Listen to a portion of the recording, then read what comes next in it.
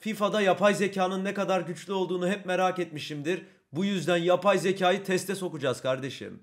Ben Paris Saint Germain'i alacağım. Karşı tarafta da Manchester City olacak. En kolaydan en zora bütün seviyelerde gol atmaya çalışacağız. Daha fazlası için videoyu beğenip beni takip etmeyi unutmayın. Acemi zorlukta Santra'dan aldım. Direkt gittim golü attım dostlar. Amatörde de aynı şekilde Santra'dan koştum Neymar'la golü attım. Orta seviyede biraz daha zaman geçti. 3 dakikalara geldik. Oyun dakikası tabii ki bu ama yine golü bulduk. Profesyonelde de aynı şekilde yani neredeyse tekte atıyordum ama bir türlü zor girdi abi. Dünya klasında tabii bir tık daha zorlandım ama burada da golü buldum. En çok efsanevi zorladı ama yine oyun içi 15 dakikada hatamı yaptım. Neymar Junior'la ayak dışı attım. FIFA abi işte.